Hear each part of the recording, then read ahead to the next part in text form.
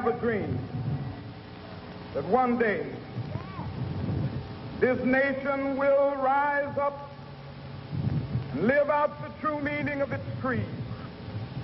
We hold these truths to be self-evident that all men are created equal. But I have a dream today. The man who said, I have a dream, to 200,000 Americans in 1963 was assassinated in 1968. Since Dr. Martin Luther King's death on April 4th, the United States has been in shock and mourning. Only now are Americans beginning to recover from the impact of his tragic death. The following are some of the sorrows, some of the tributes paid to his memory by his countrymen during the last number of days. At 7.10 this evening, Martin Luther King was shot in Tennessee. This was to be a gala occasion for a little Negro college from Mississippi appearing in Carnegie Hall with the great Duke Ellington. Martin Luther King, 20 minutes ago, died.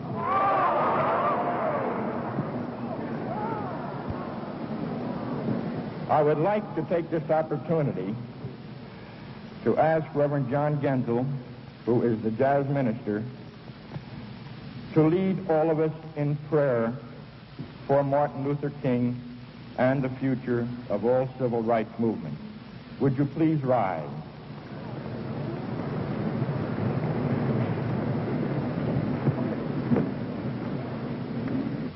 The King is dead. Long live the King of Love throughout eternity. I think it can be said that he now stands with our other American martyrs in the cause of freedom and justice. His death is, is a terrible tragedy and sorrow. First of all, to his family, to our nation, and to our conscience. My fellow citizens, and especially my black brothers and sisters in our city. This is Walter Fauntroy, Vice Chairman of your City Council and Director of the Washington Bureau of the Southern Christian Leadership Conference. There's no one in the city tonight who is more stunned, whose heart is more crushed or broken by the tragic events of the night that have robbed our nation and our world of Dr. Martin Luther King, Jr. It will be very difficult for us tonight and in the days and weeks to come, all of us, to deal with our deep sense of grief. I have a dream that one day on the red hills of Georgia, sons of former slaves and the sons of former slave owners will be, be able to sit down together at the table of brotherhood. I have a dream. Martin Luther King, if he had one choice, I am sure, he had one choice in his death, it would be that we made a greater effort in this country by adhering to the principles that he so ably advocated of nonviolence, that we make now a greater effort, the theory of nonviolent effort, to eliminate the obvious inequalities that still exist between white and Negro citizens, and that we provide in an affluent and wealthy and magnificent white America an equal opportunity for the Negro citizens. There's not going to be any replacement for Martin Luther King Jr. anytime soon. He was the leader and now the martyr of the whole civil rights crusade, which has been the most important domestic issue of this century in America. It may be that out of the ashes of this awful tragedy, that a new dawn can break. It depends on each of us. It may be that the prophecy that Dr. King once made may come true when he said, we now stand in the midnight of our existence, but I see a new dawn coming. I have a dream that one day, even the state of Mississippi, a state sweltering with the heat of injustice, sweltering with the heat of oppression, be transformed into an oasis of freedom and justice. I have a dream. To paraphrase Winston Churchill, if we have resolve, we can convert this moment of the nation's greatest shame into our finest hour. The only thing more tragic than the death of Dr. Martin Luther King Jr. would be that the only response would be black anger and white sympathy. You can kill a man, but you cannot kill an idea. And the idea and the ideal for which Dr. Martin Luther King stood, for which he lived, and for which he died, will continue to live in this country, will continue to live in this city. And despite the sorrow upon under which all of us today feel so heavy, there will on the morrow be a resurgence of the confidence that he was right and that we will overcome. I have a dream. My four little children will one day live in a nation where they will not be judged by the color of their skin, but by the content of their character. I have a dream today. The candidates for the presidency of the United States expressed their grief that night in statements to the American people. Senator Eugene McCarthy called Dr. King's death a tragedy for all Americans. He said that not only had the Negro people lost the noble and great leader, but all Americans had lost a man of peace. Former Vice President Richard Nixon paid tribute to Dr. King as a man determined that the American Negro should win his rightful place alongside all others in his nation. And at the same time, a man whose life was devoted to the principle of peaceful, nonviolent change. George Wallace, former governor of Alabama, called the assassination a senseless, regrettable, and tragic act.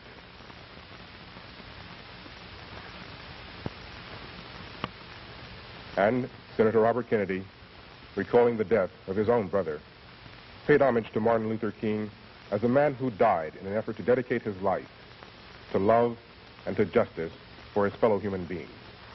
I have a dream that one day,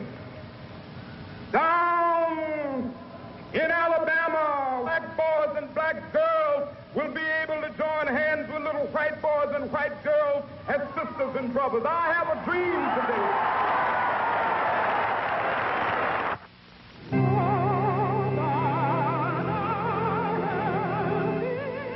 But the nation's sorrow was not only echoed in the spoken words of leaders.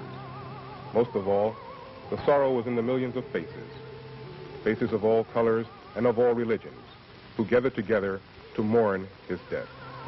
The faces of those who would continue to believe in his dream.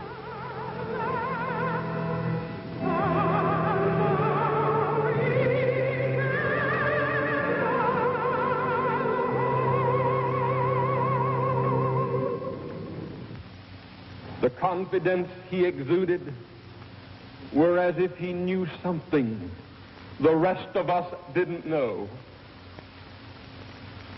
It was the composure that marks a man who knows who he is, what he believes, and how much he's willing to give for those beliefs. Martin Luther King, deep faith in God, in the people of this land, black and white, who were God's children, and the victory that would come.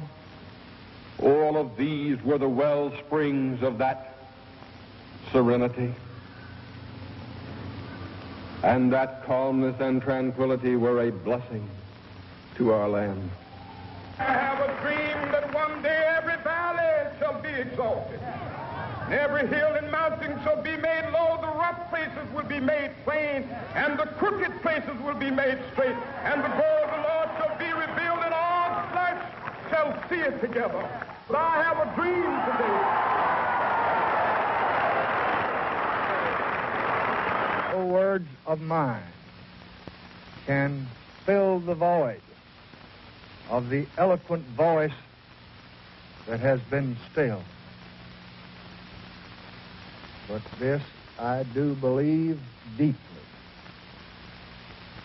The dream of Dr. Martin Luther King Jr. has not died with him. Men who are white, men who are black,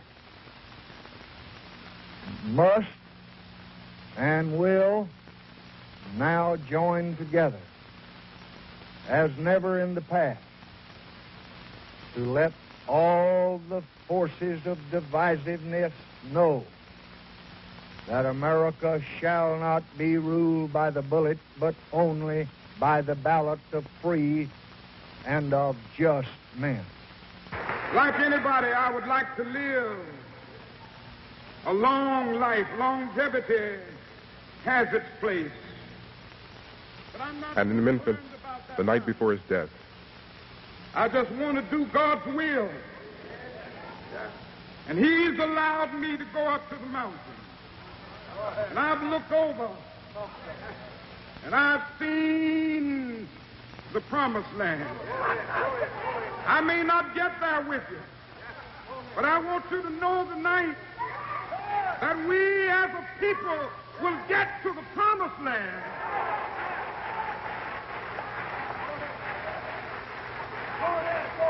So I'm happy tonight. I'm not worried about anything. I'm not fearing any man. Mine eyes have seen the glory of the coming of the Lord.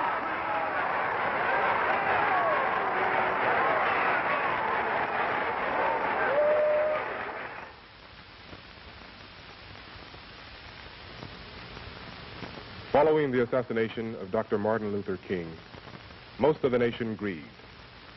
But there were those who did not grieve. There were those who used death as an excuse for the winning of luxury and the game of destruction. Their motive was neither grief nor hunger. Their numbers were small, but damage was not.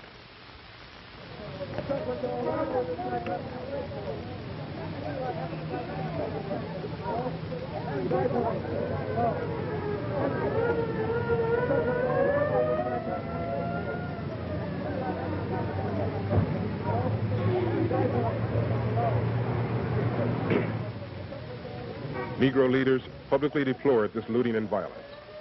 Roy Wilkins, Executive Secretary of the National Association for the Advancement of Colored People. What discourages me and dismays me and disheartens me is that in the reports so far coming in, we have reports of looting, not not anger, not violent outbreaks, uh, not an expression of their sorrow and, and uh, resentment at the killing of Dr. King, but uh, utilizing this as an opportunity to steal things. Now, uh, I, I, I think Martin's memory is desecrated by this kind of action. Most were satisfied with small items, but a few were overly ambitious. Curious, perhaps, like those who tried to fit a huge stereo set into a small car.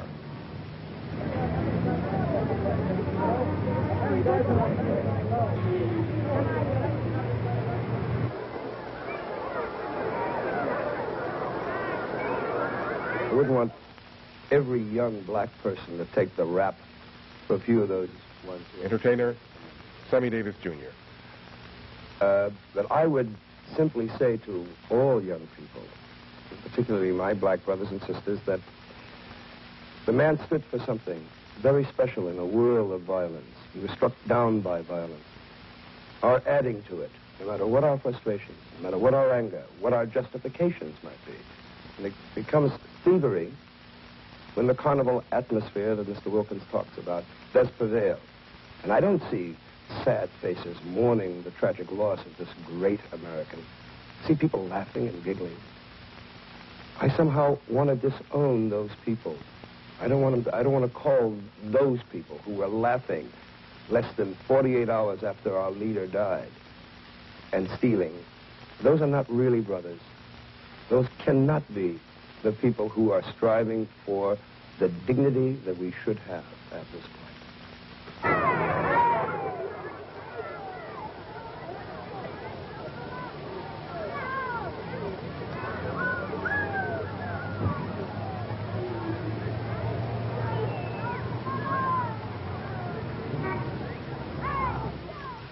The Reverend Wyatt Walker, a close friend and associate of Dr. King since the beginning of the civil rights movement. As difficult as it was for those of us who are civil rights figures, uh, I'm, I'm afraid to say leaders or spokesmen, that someone must have the maturity in the black community to say that these riots are riots and they cannot, by any stretch of the imagination, be made into people's rebellion. And I think in this moment, this is the moment for, and Roy has always had the courage to call a, a spade a spade, if I may use a racist euphemism, uh, to say that, that you can't make a people's rebellion out of riots. There's no way within the realm of morality looting can be justified. It is illegitimate, it is wanton, it is dishonest. And even though these are black teenagers predominantly, uh, that's all it is. It's hoodlumism, and we, um, amongst the other people in our larger community, must say also that it is wrong and it is deplorable, and, and the nation cannot digest it.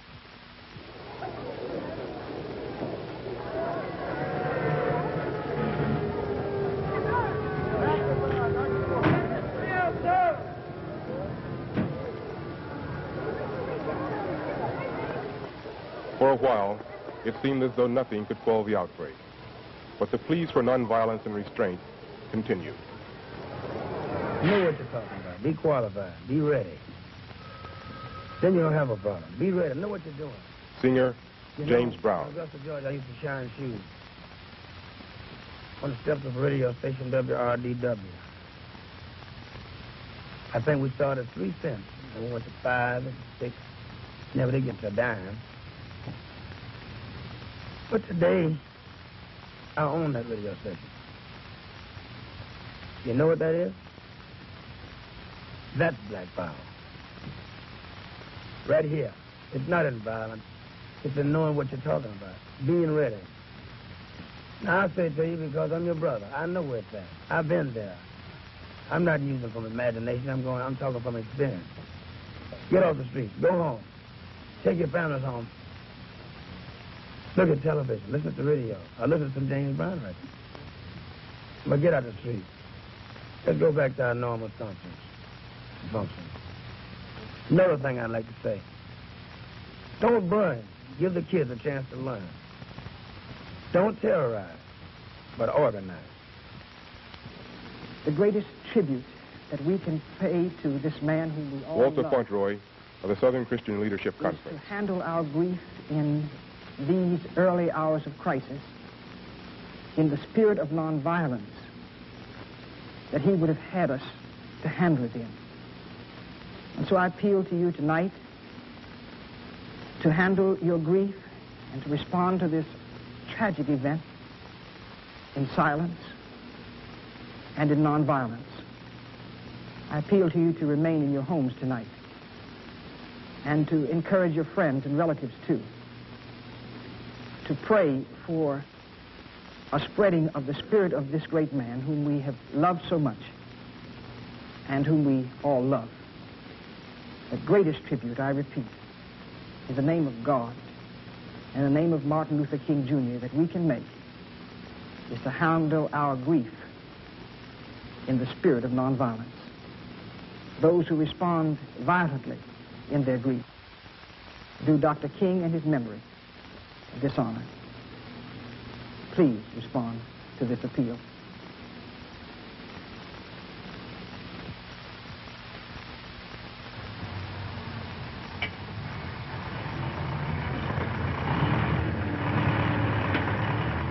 The destruction in the steppes was done, and those that did grieve picked up the pieces.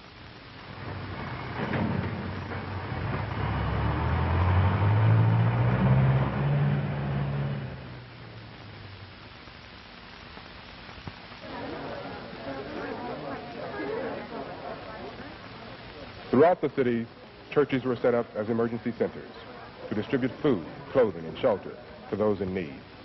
With the help of government agencies and private organizations, they started to rebuild. Appeals were issued to citizens outside the troubled areas for money and assistance. The people responded generously.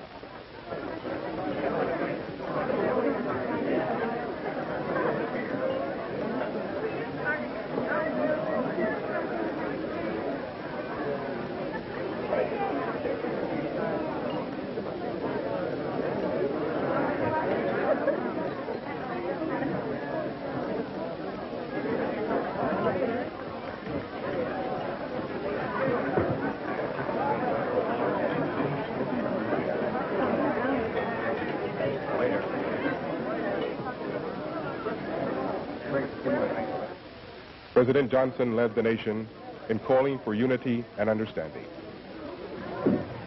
I ask every citizen to reject the blind violence that has struck Dr. King, who lived by nonviolence. I pray that his family can find comfort in the memory of all he tried to do for the land he loved so well. I have just uh, conveyed the sympathy of Ms. Johnson myself to his widow, Mrs. King. I know that every American of goodwill joins me in mourning the death of this outstanding leader and in praying for peace and understanding throughout this land. We can achieve nothing by lawlessness and divisiveness among the American people. It's only by joining together and only by working together can we continue to move toward equality and fulfillment for all of our people. In the shadow of a flag that for the first time was lowered to half-mast for a private citizen, some had proven by smoke they had already forgotten him. But for every thief, there were millions who mourned. And beyond the smoke, they were king.